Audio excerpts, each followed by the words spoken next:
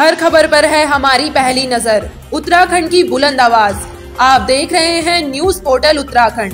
विधानसभा चुनाव अंतिम दौर में चल रहा है। 12 फरवरी की शाम चुनावी शोर थम जाएगा।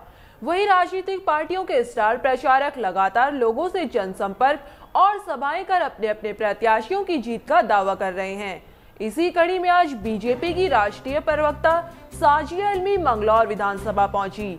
जहाँ उन्होंने कांग्रेस और बसपा प्रत्याशियों पर जमकर हमला बोला।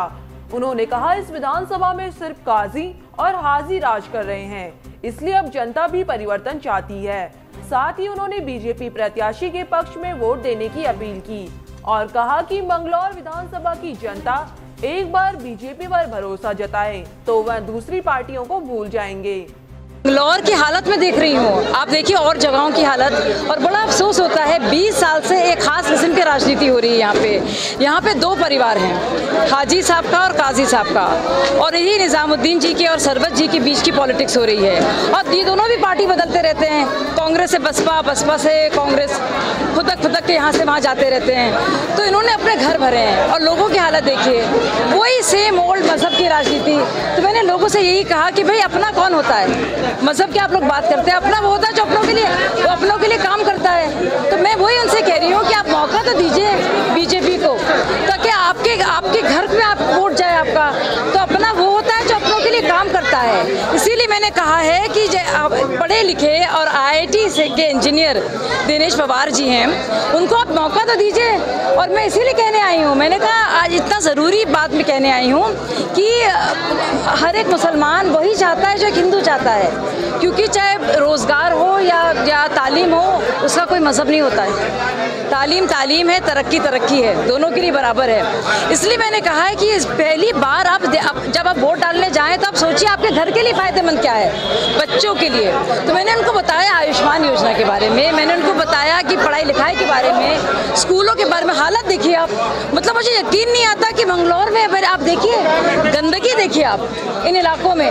मुझे अफसोस हो रहा है बीस साल से कुछ नहीं हुआ दो परिवार और, और सिर्फ़ थाने की पॉलिटिक्स जहाँ पे सिर्फ़ और सिर्फ़ थाने की पॉलिटिक्स हो रही है। बेचार बेचार लोगों को पकड़ो और वही सेम ओल्ड पॉलिटिक्स करते रहो।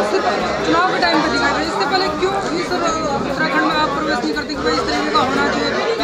कि इस तरीके का होना चाहिए नहीं ऐसा नहीं मैं तो आ, मैं आती रहती हूँ और देखिए मैं राष्ट्रीय प्रवक्ता हूँ और क्योंकि अच्छे से बहुत जानते हो हमारी पूरी टीम है बहुत से लोग हैं ये कैबिनेट मिनिस्टर रहे हैं हमारे कटियाल जी और ये तो दो तीन महीने से यहाँ पे हैं और पूरी टीम काम कर रही है हमारी यहाँ पे ऐसा नहीं है। मैं आई हूँ ख़ासतौर से क्योंकि आ, आ, मैं पवार जी को बहुत के परिवार को अच्छी तरह से जानती हूँ तो उन्होंने रिक्वेस्ट मुझे की थी तो मैं इस वजह से आई हूँ। काम कर रही हूँ मैं पंजाब में तीन महीने से काम कर रही हूँ।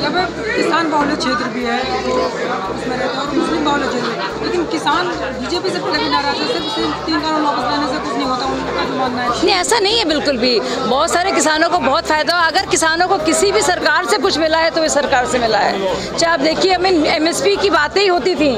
तो आप, अगर मैं सारे आंकड़े पढ़ सकती हूँ आपको, अगर आप चाहते हैं। लेकिन ना तो वो कभी लागू हुए, और उनका उनका मकसद क्या था? उनका फ़ायदा होना। और वापस ले भी ले लिए देश के हित के लिए। लेकिन उनका मकसद था वो फ़ायदा होना। उसके बावजूद हर खबर पर है हमारी पहली नज़र। उत्तराखंड की बुलंद आवाज़। आप देख रहे हैं न्यूज़ पोर्टल उत्तराखंड।